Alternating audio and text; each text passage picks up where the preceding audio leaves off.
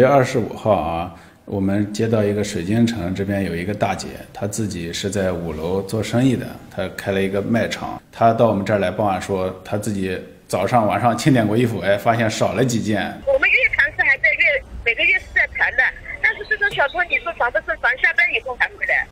监控显示，二十三号晚上十点，一名男子在商场六楼出现，之后来回在通道行走。半个小时后，男子出现在五楼附近，摆放着几排衣服。见周围没人，男子从内侧进入摊位，还猫着身子，也像跟进了摊位一样啊。当时现场人也差不多了，边上也没有保安，也没有这个类似巡逻人员啊。自己在里边悄悄的还挑了接近二十分钟，有四件啊，然后那个是上衣两件，还有下衣是两件。晚上十点五十五分，男子乘电梯离开。通过监控追踪，民警发现他经常在辖区一个网吧出现。这个也不好把握他什么时候在。然后后来又在一次的时候，我再过去再看一看，哎，刚好他又在这个地方还在睡觉，而且身上的衣服刚好是他丢失的。发现他看见的手机里边。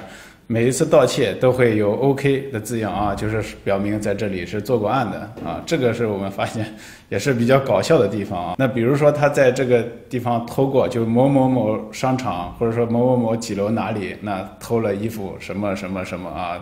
每一次盗窃经过，男子都通过自己给自己发短信的方式记录下来。民警一看，被盗的衣服就在其中，另外还有年糕、花生、鸡爪、雪碧等等。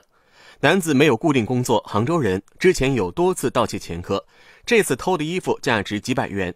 他自己告诉我们，就是说他自己是天热没有衣服穿了，然后自己就产生了这么个想法，然后自己也是有盗窃前科的。所以，目前公安机关已经将男子行政拘留。